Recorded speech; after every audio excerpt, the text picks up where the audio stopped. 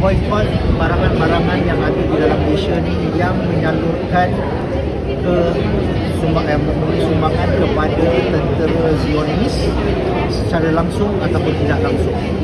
Ada yang tidak ada yang syarikat tidak mengeluarkan sumbangan kepada mereka tetapi dia mengeluarkan sumbangan ataupun dia membayar satu charge kepada uh, ibu atau Untuk dia lah. ibu syarikat uh, HQ royalty.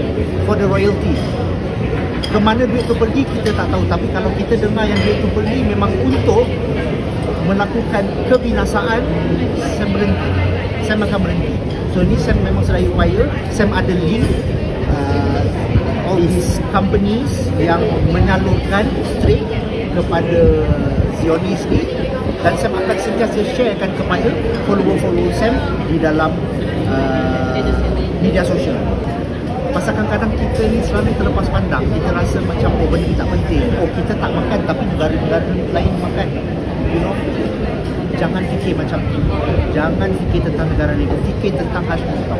Fitrah kau sendiri. Adakah kau rasa dengan contribution kau Mungkin satu bulan RM100 tu Tidak memudaratkan? Sebenarnya dia memudaratkan. Jadi better buat daripada tak buat langsung Sebelum